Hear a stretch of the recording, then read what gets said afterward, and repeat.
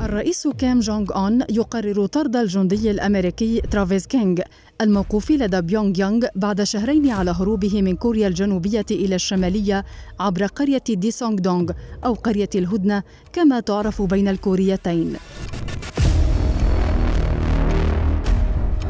وكالة الأنباء الكورية الشمالية قالت إنه بعد استكمال التحقيق قررت الهيئة المختصة في البلاد طرد الجندي في الجيش الأمريكي ترافيس كينغ الذي توغل بطريقة غير قانونية إلى أراضيها.